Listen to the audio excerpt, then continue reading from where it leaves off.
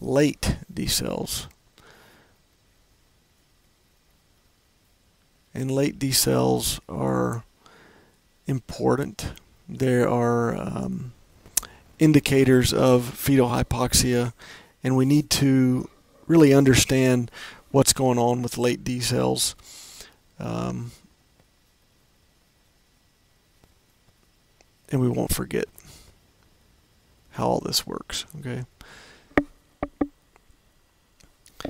So really, um, we, we say that late decels are caused by fetal hypoxia. Let's just go ahead and draw what a late decel looks like.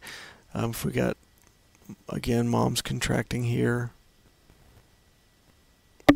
In late decels, the onset of the deceleration is later, comes on about halfway through mom's contraction. So it doesn't start when mom's contraction does, and it doesn't end when mom's contraction does. But you can still see that there's a the two tend to match up. Okay, so we're talking about late decels and being caused by fetal hypoxia or this is actually a good time to talk about the the uteroplacental insufficiency. It's, it sort sort of helps here. When the uterus contracts, what's happening is um, there is decreased oxygen flow to the fetus, right? And the reason this happens is very similar to why uh, the heart fills in diastole instead of systole. You've got this giant muscle contraction, and the, the uterine contractile force is greater than the arterial force, the force of the placental arteries. So those arteries collapse, and of course the veins also, the umbilical veins collapse, and so you don't get um, you don't get venous return from the fetus and you don't get any new blood in. So the oxygen tension in the fetus uh, decreases. This then causes an alpha adrenergic response, and we know that alpha um, adrenergic responses increase our blood pressure, right? We have alpha receptors, peripheral alpha receptors that increase our blood pressure. All right, when that happens, we then get a baroreceptor response. And baroreceptors decrease the activity of the SA node, right? So, and that means we get a decreased fetal heart rate, right? Because this is this is our parasympathetic response here, right? Okay. Um, you can also sort of skip a lot of these effects as D, as fetal O2 decreases over time. Um, you develop. Let's see if I can sort of give you a visual um, he, here. You get myocardial dysfunction.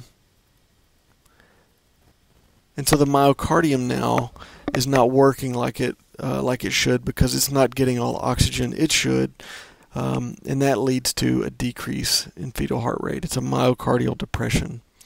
Um, but again, I think if you follow um, mom's tracing, we know that because this is basically a, um, uh, an adrenergic, you know, the adrenergic response here is probably what's taking the longest.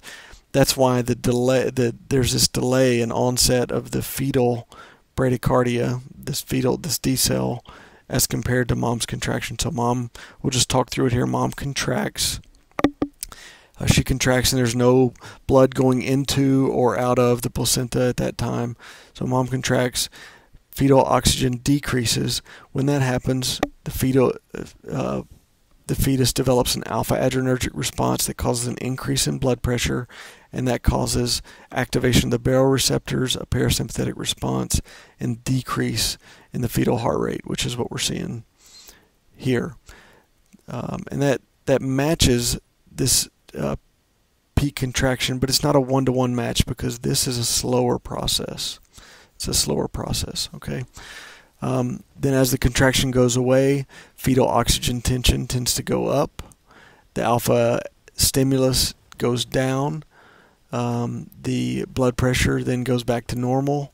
The baroreceptor response is less frequent, and the fetal heart rate comes back to baseline. Okay, so that's late decels. It's worth taking some time thinking about this physiology um, instead of just memorizing that late decels are associated with fetal hypoxia. You know, just knowing these things will get you through the exams. If you know that earlies are head compression, lates are uteroplacental insufficiency, and variables are cord compression, those things will get you the right answers on the test. This will help you understand and really know what you're working with. So, in the next section, let's talk about the third type of decel, and that will be variable decels.